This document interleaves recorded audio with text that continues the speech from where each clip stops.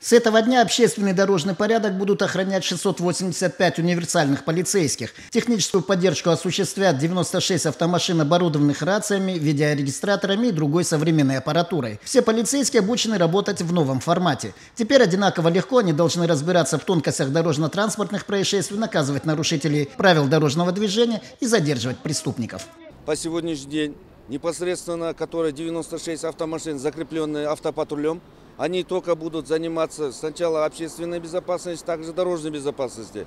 А остальной состав, личный состав полка патрульной полиции, пешие наряды будут заниматься по общественной безопасности. Также в составе патрульной полиции есть конный взвод, патрульный, взвод полиции, который тоже будет заниматься по охране общественного порядка. Также у нас совместно в полку патрульной полиции кинологический взвод есть, который непосредственно работу проводит служебными собаками. Они также будут работать по общественной безопасности. В каждом экипаже три сотрудника полиции, два специалиста патрульной службы и один автоинспектор. Работать будут в три смены. При этом за каждой бригадой закреплен свой район патрулирования. Сегодня первая смена новой службы. Переживают даже бывалые сотрудники полиции. Задача, поставленная перед нами, предельно ясна. Это охрана порядка в городе. Мы и раньше выполняли такую работу по отдельности. Теперь будем работать вместе.